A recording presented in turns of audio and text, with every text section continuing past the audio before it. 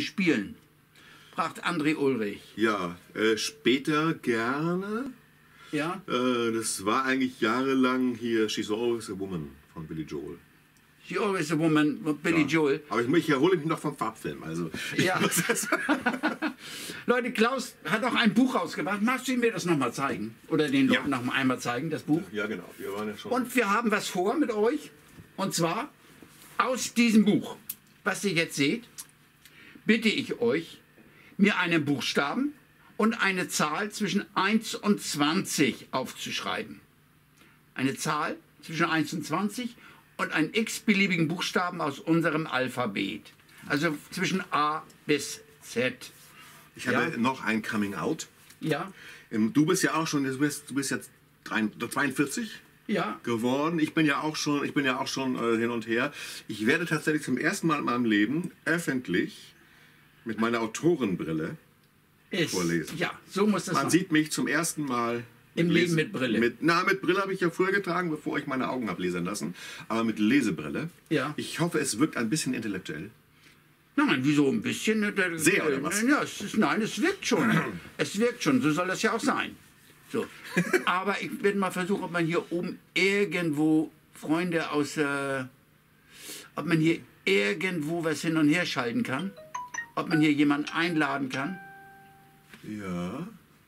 Mein Telefon klingelt, ich werde mal gucken, was dabei ist. Wir können natürlich die Fragen auch per Handy entgegennehmen. Ich kann nicht daran teilnehmen.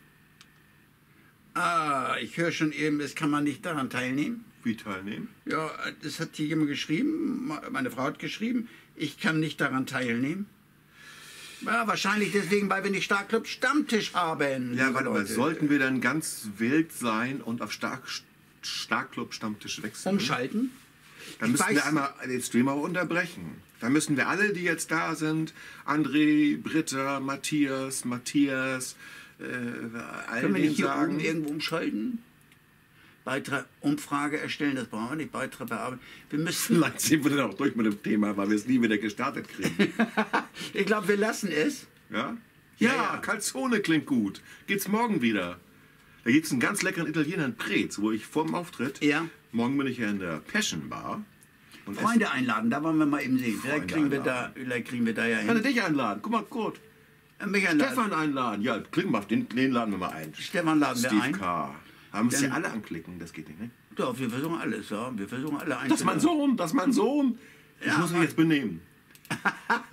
Nein, das wollen wir nicht. Dritt, Dritter laden wir ein. Haben ist doch schon dabei. Er macht ja nicht. Wir laden, schicken Hier, trotzdem. Jens Petersen, netter.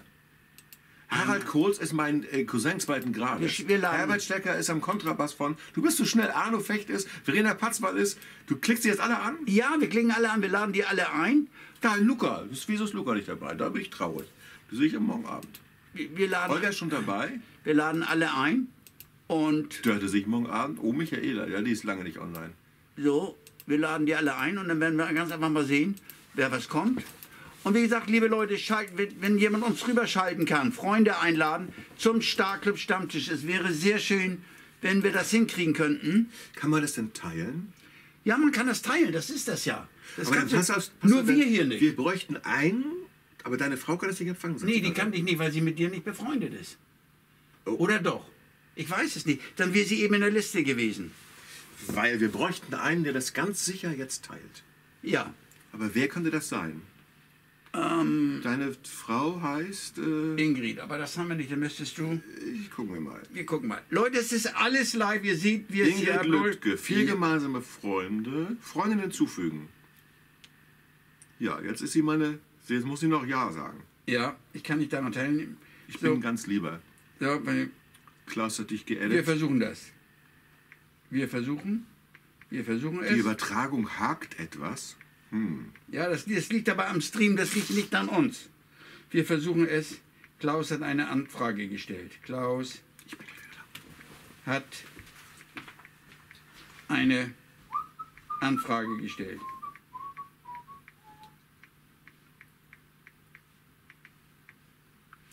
Leute, wir kriegen das alles hin, wir werden es versuchen. Klaus kommt gleich wieder. Jo, ich bin aber gerade an meiner Technik zu schaffen. Klaus macht dann seine Technik. Hm. Jetzt hat er sich abgeschaltet hier oder was hat er? Ja, nein. Wieder verbinden erfolgreich. Ah, einmal ganz kurz. Das Aha. liegt also hier ist irgendwo das OBS-Studio, mit dem wir senden. Macht ja ab und zu Schwierigkeiten. Ihr habt, ich weiß nicht, ob ihr die Einlad äh, Einblendung eben gesehen habt. Ähm, es ist aber, leider ist es so. Hatte, hast du, oder willst du deine Frau kurz anrufen? Nee, ich habe schon gemacht. Ich habe schon angeschrieben, Das ist Teil. dass, nee, dass, dass sie Den Stream teilt. dass, dass sie das macht und dann sie kann sich sie kann uns ja überhaupt nicht sehen leider Ach so, aber ja, ne, aber sie müsste ja irgendwo wir werden das schon hinkriegen ja, wollen wir jetzt mit, mit dem Buch das nochmal? Also, ähm, Ja, wie gesagt, das Buch hat hinten ein Register ja mit Stichworten und damit ich zufällig was auswähle, war die Idee, jemand sagt einen Buchstaben und eine Zahl.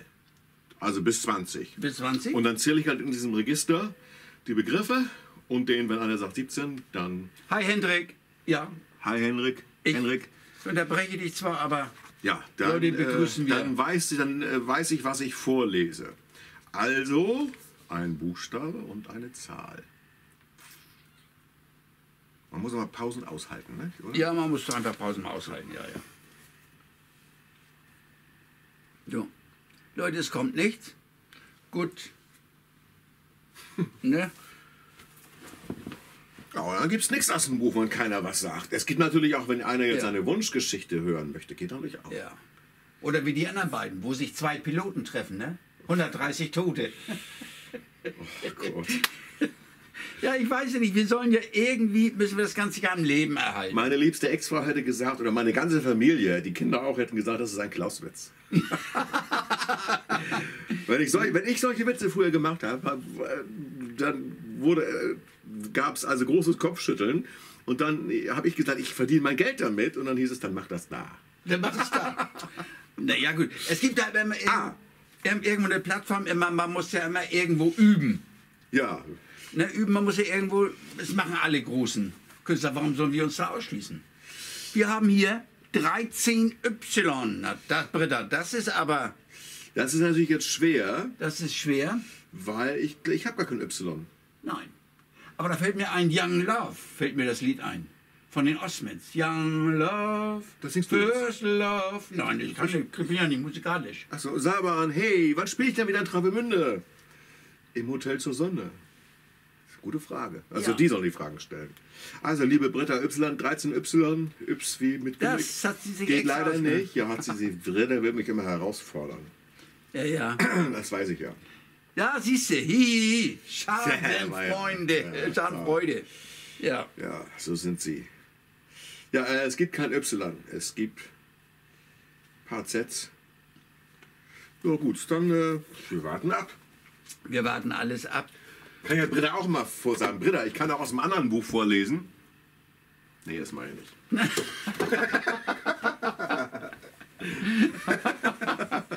das war auch wieder so ein Insider. Ja. Was ist das? Das ist der, Zwölf Regeln des Lebens? ja, der schlauste Mann der Welt. Professor Dr. John Peterson. Aha. Ein Phänomen. Hat, ist der genauso wie die, der, der jetzt gestorben ist? Wie hieß der noch, der, der, der im Rollstuhl saß da?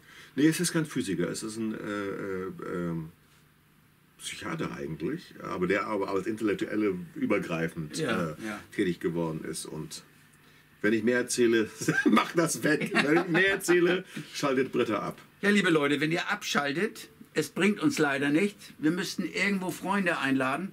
Wir können aber auch nicht. Ich sehe aber dick aus hier, oder? Das trägt jetzt nur so auf. Ich muss mal Ja. hinsetzen.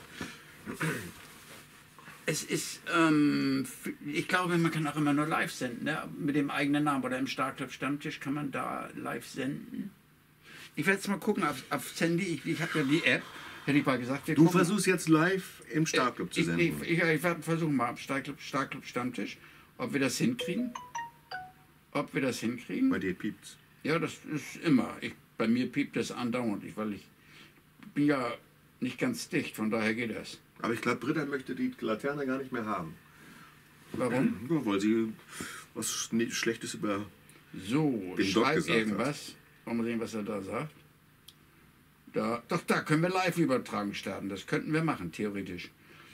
Ja, wollen, wir das- wollen wir das, wenn wir das jetzt hier abschalten, dann müsstet ihr alle rübergehen auf Starclub Stammtisch Und ob da jetzt deine ganzen Freunde sind, ich wage ich zu bezweifeln. Oder willst du schnell deine Frau anrufen, ob sie das teilt? Ah, ich ich werde das einfach mal versuchen. Sie anzurufen? Ja, ich werde sie mal versuchen anzurufen. Ihr könnt ja live dabei sein, liebe Leute. Ja. Kurt hat schon sehr von seiner Frau geschwärmt. Ja, ich werde es einfach mal Tun versuchen. ja nicht alle, immer. Nummer seht ihr nicht? Nö. Soll mal eben sehen. Hallo Schatz. Ja, mal eben sehen, Leute. Ihr kriegt das ja alles live mit. Telefon klingelt. Ihr Gesprächspartner ist zurzeit leider nicht erreichbar. Not available. Gut. Okay, mein Lieblingsessen. Ähm, Chili con Carne. Achso, warte, ja, du machst Chili. con- Du richtest da, ich versuche nochmal eine andere Nummer. Wir haben ja zu Hause nicht nur ein Telefon. Wir haben aus Versehen zwei oder drei. So, Ich sehe wirklich dick aus hier. Was machen wir denn da? Vielleicht doch mehr Sport oder wie? Mit, mit Sporten. Ja, nee, hier, ich sehe so einen Bauch, sehe ich so Das nennt stark. man Love Handles, habe ich gerade gelesen. Das habe das hab, das hab ich, ich gepostet. Ach, hattest du, ja. Das habe ich gepostet. Ja, hier Ja. Auf, wir sind live auf Sendung. Äh, Ja, kannst das du ist schön.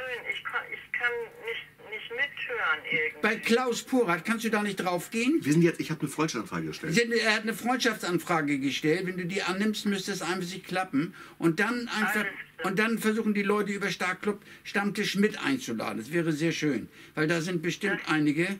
Versuch einfach mal. Das mache ich. Danke, Gut, Tschüss. tschüss. Viel Spaß noch. danke. Kriegen wir denn mit, wenn sie das gemacht hat? Ja, wir, wir werden das ja sehen. Ja, sehen wir das? Ich, ich hoffe, dass wir das sehen. Ach so. Leute, ihr habt das mitgekriegt. Wir werden versuchen, aber auch eure Hilfe brauchen wir. Bevor Kurt wieder Witze erzählt. Ja, bevor ich wieder Witze Bitte, bitte. Ja, Obwohl, ich kann, kann ja, mein, mein, mein Lieblingswitz ist, Ja, ist, auch, ist auch sehr, sehr schlimm. ja. Der Greis wird gefragt, welches die schönste Zeit in seiner 75-jährigen Ehe gewesen ist. Ja. Und die Antwort lautet, die zwei Jahre in russischer Kriegsgefangenschaft. Den erzähle ich mir mal live. Und Es lachen nicht immer alle. Ich finde eigentlich ganz gelungen. Ja. So, fragt Stefan